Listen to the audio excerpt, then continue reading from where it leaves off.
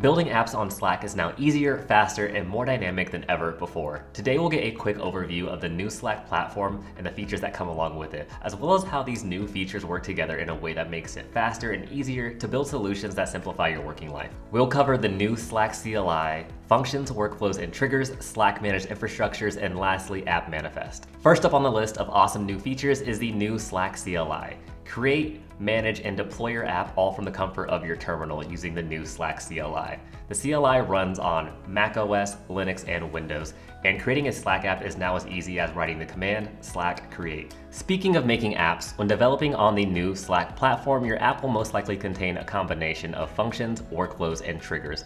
These are the three building blocks that contribute to our modular architecture and promote flexibility and reusability. Functions are modular, reusable blocks of functionality. There are a handful of built-in functions that are available to you. For example, create channel, which as you probably could imagine, makes it super simple to programmatically create a channel or you can even create your own custom functions. A combination of functions makes up a workflow. A workflow is a series of steps executed in order to accomplish a task. An example of a workflow could be adding a user to a user group when that user joins a specific channel. To invoke your workflow, you'll need a trigger. There are a few trigger types, and triggers can be added via the CLI or at runtime.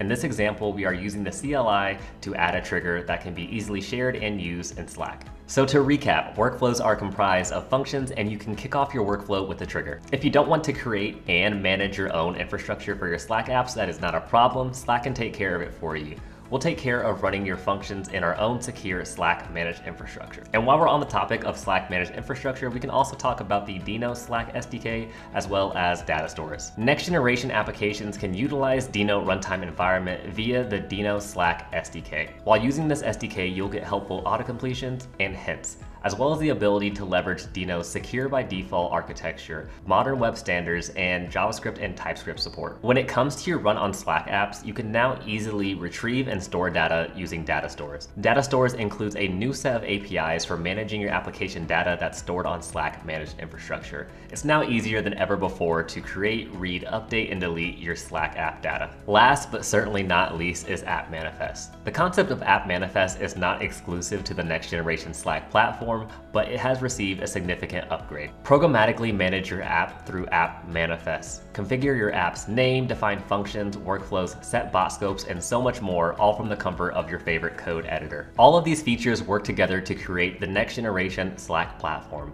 Many of these features and capabilities are inspired by the feedback that you all have provided. So let us know in the comments how you feel about the new Slack platform. Thanks for watching and be sure to stay tuned to get a more in-depth look on what the next generation Slack platform has to offer.